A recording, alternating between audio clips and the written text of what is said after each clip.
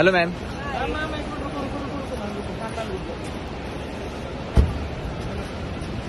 Hello ma'am कैसे हो? मैं आपकी नेक्स्ट मूवी कब आ रही है? इंडियन टू बहुत ही जल्द लेकिन कुमार रिलीज़ होगी वो आप देखना। हाँ। मैम आपके हाथ में क्या है ये? मेरा पानी?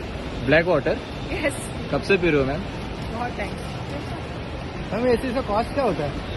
वो आप जाके खरीदो और फिर पता चलेगा होता क्या मैम गरीब आदमी? कहाँ से कर देगा यार? ऐसा मत बोलो ma'am.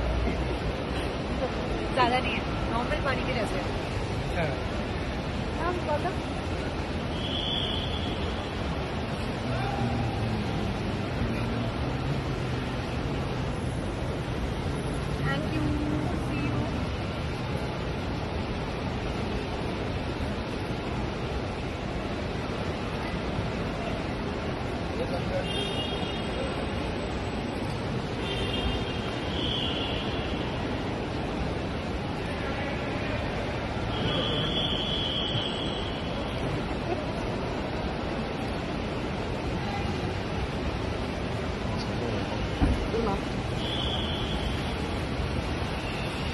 Ayo, wakil ada nih, ada sih.